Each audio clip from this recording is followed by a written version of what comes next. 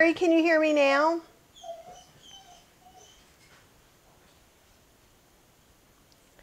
I'll give it just a sec. Yeah, it looks like it's working now. My battery's died, so I'm going to start that all over again. Good morning. I'm Kathy Hester, and welcome to my kitchen. and thanks for hanging in there when you couldn't hear me. Um, good morning, Terry and Megan and Joanne and Linda. And thank you guys for hanging in there while my sound went bad. I was doing some tests this morning, so I must have used up my battery.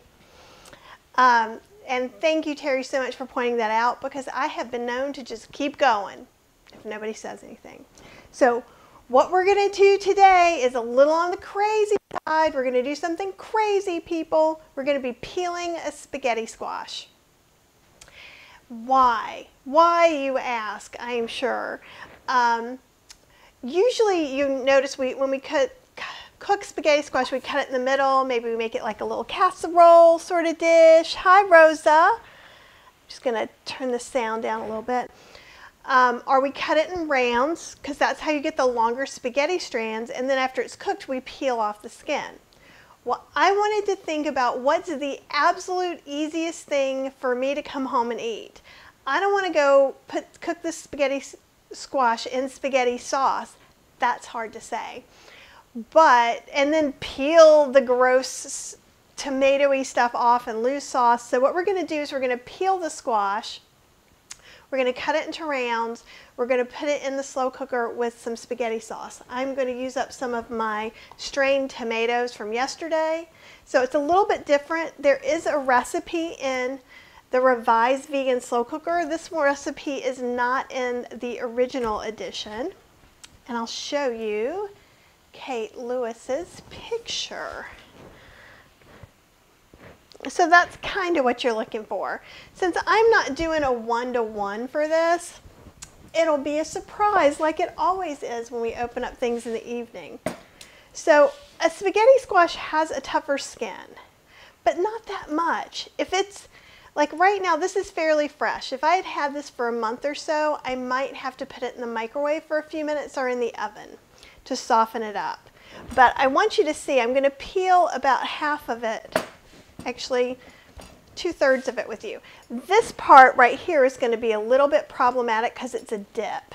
But let's start with an easier part. See, it's just like a potato. You just want to get a firm grip. And another way that you can do it is you can go ahead and let's cut off an end because we're going to be cutting off an end anyhow. So if we make that sort of flat, we can hold it this way, right? And while this isn't going to get everything, we'll have to come and clean it up. See how much easier that is? And you're using gravity to help you get through some of this. So it's not as easy as maybe peeling a zucchini but it's not that hard. So have any of you guys peeled? And see, then I'm going to take it here and the parts that didn't get really well peeled, I'm going to repeel that. Then I'll start up with the putting it on its edge again. But I wanted to show you here just because it's just not that, it's not as bad as it seems even for me today, I was like, oh, I don't know if I want to peel the spaghetti squash. It seems like such a chore. And it's not. Plus, you can take out your frustrations. It's a lot like the um, garlic smasher, right? I've had a hard day. I'm going to peel the spaghetti squash. So what about you guys? I want to know either have you ever peeled a spaghetti squash or what's your favorite thing to make with spaghetti squash? Or have you never used spaghetti squash yet at this time in your life, which I'm hoping to change. I'll just let you know that. And see, right there, let's, let me show you. So that's like one of those little harder spots. So that's thicker. So instead of trying to, oh, I'm just going to take it off really easily like this. In fact, we can just keep coming on and you can almost peel that part off, but I'm going to have to um, use a knife to get it. This will just make it a little easier. So if you come into a hard part, or you can always peel back the other way or just work on peeling that little tiny bit. And you can also come from, I'll show you this from the front. You can also come from the bottom of this up, whatever's easier. Sometimes it depends on the squash, how many like little hard spots it has on it, what might be easiest. So just let yourself become one with your spaghetti squash. Go ahead and peel this part off here. And I know since this is an indention, it's going to be harder. But I have an idea for it. So let's see what happens. Oh, Fran um, grew some spaghetti squash. That's awesome we have trouble sometimes growing squashes here of any kind because of squash borers. They, like, I remember trying to save a baby pumpkin in the other house I lived in, and I went in with tweezers to get the squash borers out and everything, and it was, it was intense. And a squash borer came out of that pumpkin, which made it not quite as appealing to me. Let's see if I can get in here. So I'm going to push a little harder and try to come in from different ways to get that little part that's indented. There we go. Okay? So that's how long it took to peel it. It really wasn't that bad. You can look and see if you've left any pieces of peel on or if there's maybe a bad spot that you want to get off. Other than that, get some of this grain off.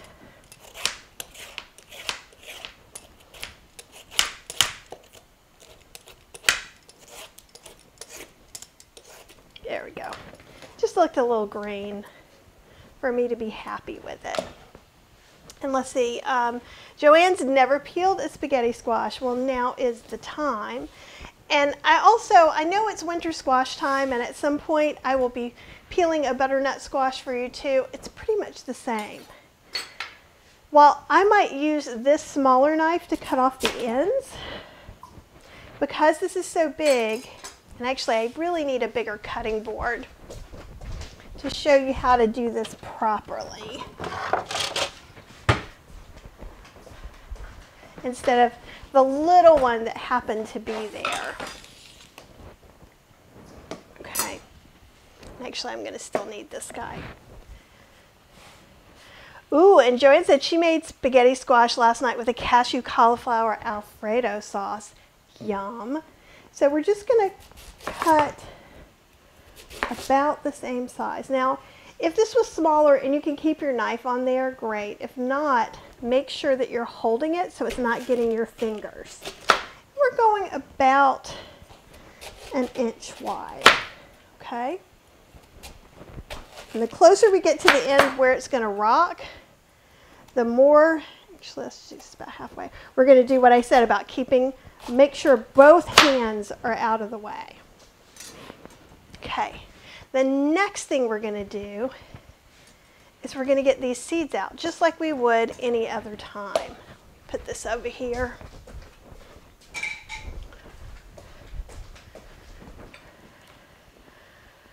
And Fran said she just blanched and peeled her garden tomatoes. Yum. And so since this end uh, is the end, right? I'm just going to get those seeds and guts out. And I'm calling guts are those stringy parts. I don't know, does anybody know if they have a proper name? So the hardest, the most time intensive one was that one. This one I can literally just scrape around. And it doesn't take much time at all.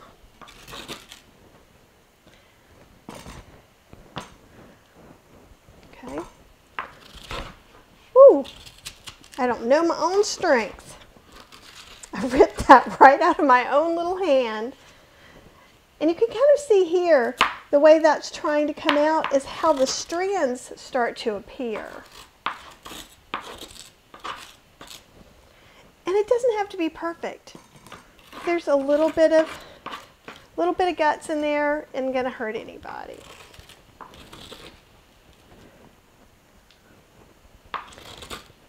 It's not like it's poisonous to eat. It's just not a pleasant texture. And it takes away from the illusion that this is indeed pasta.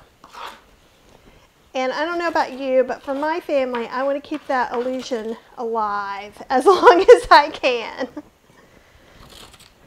Okay.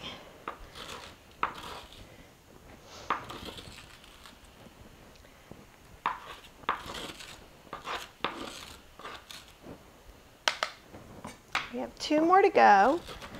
So, I mean, this has just taken a couple of minutes, very little time. And then we have another one that this is also the end. And there's not much in there, so this is easy peasy. So there,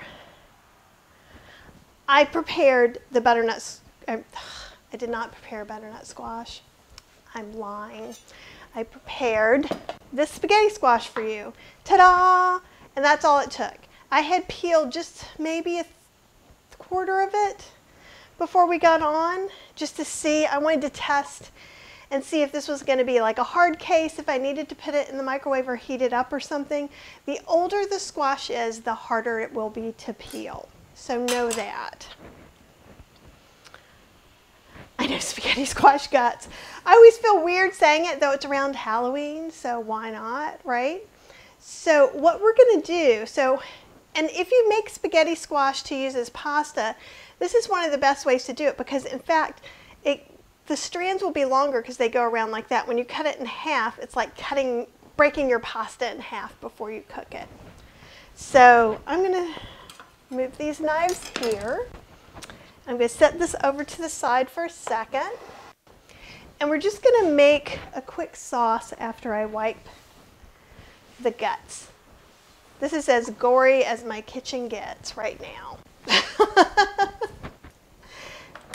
so we're going to make a quick pasta sauce. Yeah, it's really easy. It's really easy. So let me get a measuring cup to see how much of this um, tomato puree I'm putting in because it's just the leftovers from yesterday. I expect, and this is just strained tomatoes. You could use tomato puree. You know what else you can use? Spaghetti sauce from a jar or a can. Ooh, there's there's going to be like one and a half cups. So that's perfect. So that's what a normal, I'm trying to get some of this feels hot in there. It's a little more than, than um, I'm just, it's a little more than that. It's going to be a little closer to, to three quarters of a cup. If I can get all, every last little bit out, which is my goal. Okay, so a, a heaping one and a half cups of tomato puree. I'm also going to put in these diced tomatoes with basil and garlic. You don't you could use regular diced tomatoes. You could just use crushed tomatoes. And again, we're just making a quick spaghetti sauce basically with the stuff that we have on hand. And that's why if you already have some sauce, and actually I have some um, jackfruit ragu from a class I did this past weekend, but it's not quite enough. But I may end up mixing it in here. I'm trying to decide what I'm going to do. Um, and Joanne said she brought a, a kabocha squash this morning at Tra Trader Joe's. And I love getting squashes there because you buy them by the piece. So if you get there when they open up the carton, you can get an amazing deal. Sometimes spaghetti squashes that would be intimidating to peel, but you could do it. I have faith in you. Okay, so this is about three cups of stuffs right here, but it's just plain old tomato stuff. Um, And Fran's saying, how do I slow cook my squash in the Instant Pot with a glass lid or pressure cooker lid set to seal? Um, if you're doing it on the slow cooker setting, it doesn't matter. You can use the glass lid or the other one. It doesn't matter at all. Um, if you're going to do this in the Instant Pot, I do have, I don't know if I have them up online. If you have the Ultimate Vegan Cookbook for your Instant Pot, I talk about that. Let me grab it really quick. Um, in this one, and so let me get the timings because honestly, I don't remember off the top of my head. So let me see if I can find the spaghetti squash. Yeah, 114. So when I cook it in the Instant Pot, I cook it on the pressure cooker setting. I just want to tell you, so I actually cook it whole. Can you guys see that? Whole and then it, the peel just comes out and you just scoop out the inside. You can do that in the slow cooker too. Either way, you can just put it on slow cooker. I do, that's how I make my pumpkin pie, uh, my pumpkin puree, is I take a whole pie pumpkin. Sometimes I might slice off the top with the stem if it doesn't fit in. I have a taller slow cooker that works really well. I don't put any water or anything in it and I just cook it and then you let it cool. The peel will come out or on a spaghetti squash you scrape the insides out and then basically you scrape out the pumpkin and it's pureed.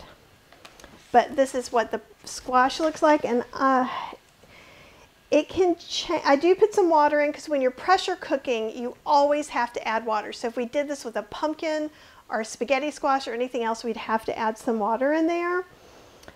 And I am cooking on high pressure for about 15 minutes. And I put it on the rack, like the rack that comes with your Instant Pot.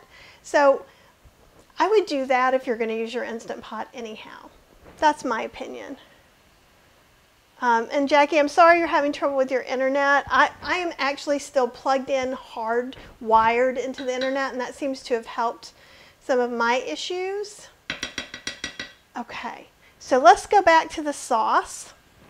So right now we have about a cup and a half of tomato puree and we've got uh, one and a half cups of diced tomatoes with some seasoning in there.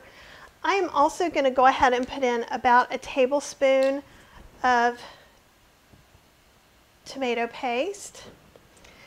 Mostly because I know that that Lidl um, strained tomatoes, those were pretty weak and it needed some extra tomato flavor.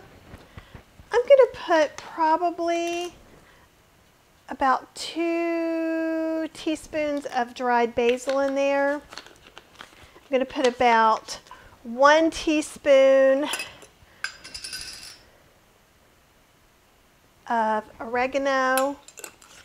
And then I have, oh, that's tomato powder. In the same jar in my pantry, ta-da, powdered rosemary. So I'm going to put a quarter teaspoon because I want this to be kind of heavy rosemary because that makes me feel very fallish.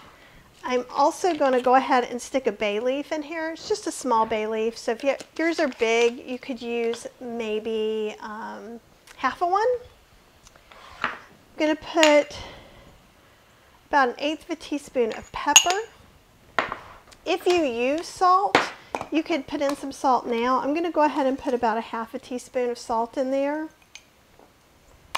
because I want, I'm still going to taste it and reseason, but I want it as close to where I want it to be.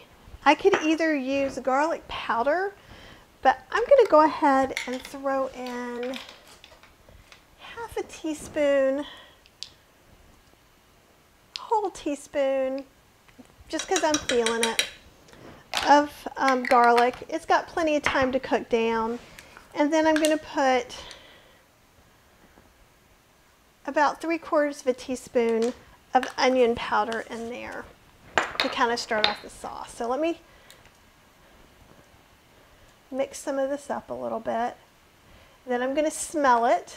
You could taste it as well. It's not going to be what it's going to be in its a very final um, stage. It's not going to be melded, but you can get an idea. I think you get better, I, I get a better idea smelling it sometimes than tasting it.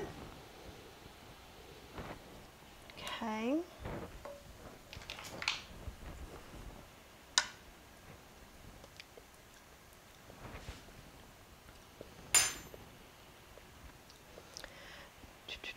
I'm going to change this onion powder.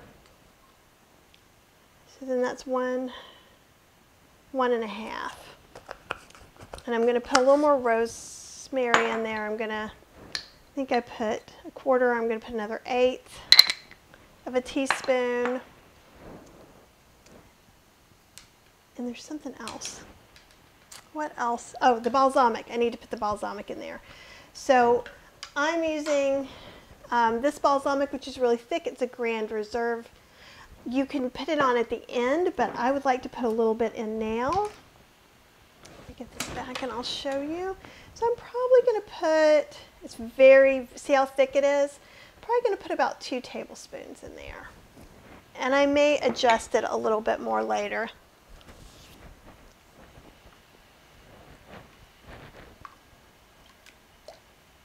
You could also put some wine in here if you have some red wine. Though often I, I've grown to like balsamic better than wine sometimes in the sauce itself. Okay, taste it again. Okay, it's not going to have a huge depth of flavor. I'm also going to go ahead and put in about a cup of chopped frozen bell peppers mix those in there.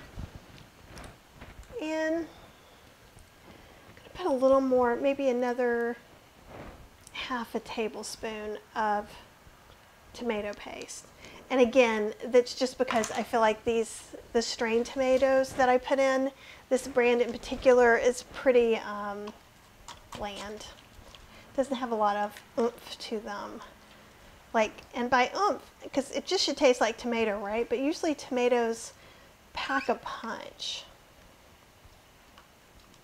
Let's try it one more time. Yep. That tastes more like what I'm going for. And with the, the bell peppers, that's going to add a little more of that like spaghetti sauce yumminess. So the next thing we're going to do is we're going to put our spaghetti squash in here. And this was a fairly good sized one. But we can also, see if I can get that one in there a little bit. And this should still cook just fine. I'm not sure how I'm doing as far as sauce to squash ratio because every squash is a little bit different but I'm going to just put that in there. The top part is going to cook a little bit um, slower than the bottoms. Since it's noon, I will probably cook this on high for a while um, and then switch it to low or just switch it, keep it on high. If I was doing this at 9 and this one actually hooks like this, so I'm going to lose less um, liquid because there's this gasket. gasket. You'll notice you have to kind of get to know your slow cooker. I'm going to go ahead and we're going to call this six. This one has a varying amount, so I'm going to call this a six quart and I'm going to let it be on high. And then I'm just going to come back. What I will do, if all goes as planned, is I will be taking um, some tongs and just kind of pulling out with um, tongs and spoon to kind of break down that cooked spaghetti squash into noodles there into the sauce. And if we need more sauce, I'll add it. I could have also just not put in all the spaghetti squash, but honestly, let's just go for it. Cheryl doesn't like as much sauce as I do anyhow. Um, and Fran's saying, what about adding mushroom powder? Absolutely, you could add mushroom powder. I was thinking of adding some mushrooms, but then I'm saving them for something else. You could add mushroom powder, tomato powder. Um, when I open it up, I'm going to be adding nutritional yeast. Um, it, I will be adjusting the seasonings including the balsamic. We could choose to add some mushroom powder then as well. So anything, because like while this sauce tastes good and I can anticipate what it's going to taste like later, maybe I'm overestimating some of my spices and how fresh they are. So the whole slow cooker live thing is about the reveal and the unveiling. And so you can see that I don't just do one thing and then throw it and throw it into some bowls and there we go. I taste it a few times, adjust seasonings, and that's what's going to make the difference between an okay slow cooker meal that you're just happy to eat something and a really great meal that you're going to want to eat the leftovers of. And that's really important. And uh, Joanne says, I now have a small basket to keep my spice herb jars when slow cooking so I can taste, season to taste when I'm done cooking. I always put them away and then forget what I decided to add in the pot wasn't in the recipe. Exactly. Um, and she also loves mushroom powder in the recipe. So what I do too, and I'll be keeping all these on the counter. Everything I put in, I keep on the counter. Before I come back later tonight to unveil this, maybe I'll grab some mushroom powder. Maybe I'll grab something else and add it in and talk about that too. Okay, do you guys have any questions about what I've done? I mean, it really, this is with a lot of talking, a half an hour. And that's with me being super particular about the sauce.